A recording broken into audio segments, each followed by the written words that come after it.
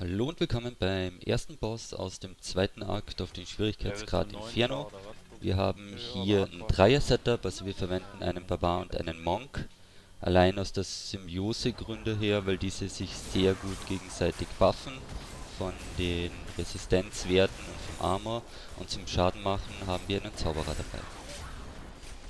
Und es geht auch direkt gleich los. Wir sehen nun die erste Fähigkeit, das Kraftfeld von ihr. Sobald dieses gewirkt wird, erscheinen gleichzeitig Ads. Die müsst ihr einfach nur töten und danach könnt ihr wieder Schaden auf den Boss machen. Wenn ihr diese Schmetterlinge seht, die bei dem Boss stehen, die verursachen nur Damage.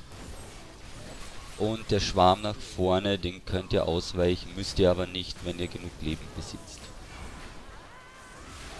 sobald die Ads da sind, diese haben einen sehr mächtigen Schlag und solltet ihr da nicht aufpassen, so wie ich gerade, oder sollten die Ads nicht gestunt werden, kann es leicht passieren, dass er mit einem Schlag down geht. Wenn dies geschieht, sollte der zweite Tank versuchen, den Boss einfach von eurer Leiche wegzuziehen, damit dann euer dritter Mitspieler euch wieder beleben kann. Unser Zauberer passt jetzt nun kurzzeitig nicht auf und denkt sich, okay, sie stirbt jetzt bevor der Schwarm ihn erreicht. Dies war eine kleine Fehleinschätzung und er stirbt, aber der Boss ist schon so low, dass wir ihn auch so noch besiegen können.